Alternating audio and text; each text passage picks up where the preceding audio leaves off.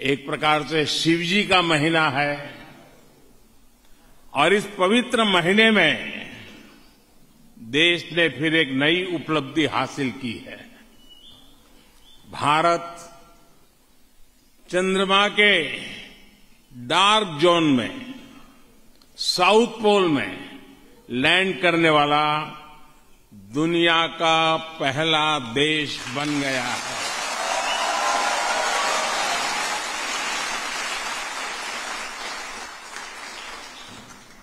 भारत ने चंद्रमा पर तिरंगा लहराकर पूरे विश्व को भारत के सामर्थ्य का परिचय कराया है।